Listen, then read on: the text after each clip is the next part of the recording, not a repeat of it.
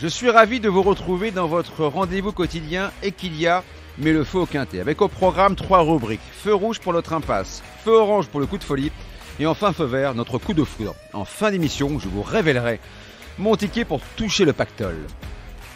Sur la grille de départ de la deuxième étape du GNT à Marseille-Borelli, 16 compétiteurs de 6 à 10 ans répartis sur trois échelons de départ vont en découdre sur la distance de 3000 mètres.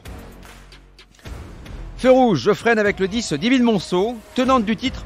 Elle doit cette fois rendre la distance, ce qui complique sérieusement sa tâche. Face aux 7-8 ans, elle n'aura pas la partie facile. Feu orange, je freine avec l'As Forest GD.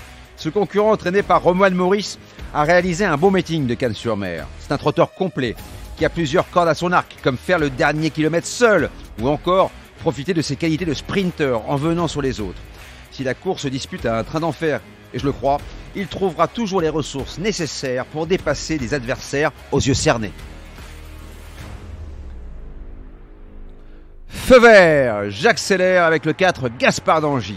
Lauréat des involtes à Laval au début du mois de mars, il retrouve Eric Raffin avec lequel il s'entend à merveille. Son entraîneur Jean-Michel Baudouin s'est souvent visé juste avec ses pensionnaires dans les étapes du GNT, à l'image de décoloration qui s'était imposée dans cette épreuve en 2021. Et pour en remettre une couche, souvenez-vous que ce Gaspard d'Angy avait mis KO cet hiver un certain Gendréa. Pour mettre le feu aux poudres, je vous propose un quintet plus, champ induit, flexi 25%, avec le 4, un X, le 12, le 11 et un X, associé à l'As, au 2, au 3, au 8 et au 14 pour la somme de 10 euros. N'oubliez pas, si vous voulez aussi mettre le au quintet, rendez-vous sur notre plateforme de podcast préférée. N'hésitez pas à vous abonner à notre nouvelle émission pour avoir accès à tous les épisodes à venir, sans oublier de laisser un commentaire et une note.